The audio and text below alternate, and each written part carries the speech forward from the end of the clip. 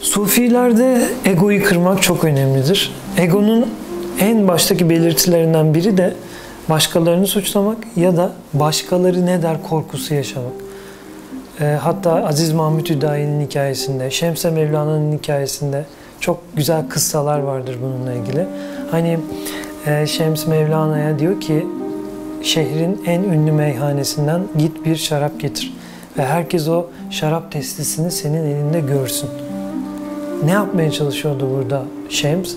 Mevlana'nın artık başkaları ne der düşüncesinden kurtul. Çünkü başkaları ne der, el alem ne der kaygısıyla kendinden başka etrafındaki herkesi düşünürsen kendin olamazsın. O yüzden sufiler der ki kendin ol. Çünkü başkaları seni bu kadar düşünmüyor. Bu kaygı senin vesvesenden başka bir şey değil.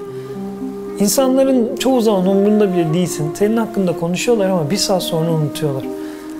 Madem el alem için bir şey ifade etmiyorsun, o halde onların senin hakkındaki düşüncelerinden neden bu kadar etkileniyorsun? Neden bu kadar önemsiyorsun? Neden onların düşüncelerine, eleştirilerine, yargılarına göre biçim alıyorsun? Neden içindeki seni dışındaki el aleme göre şekillendiriyorsun? Kendin ol, başkalarının gürültüsünü değil, kalbinin fısıltısını dinle. İşte sufiler bunu söylerler.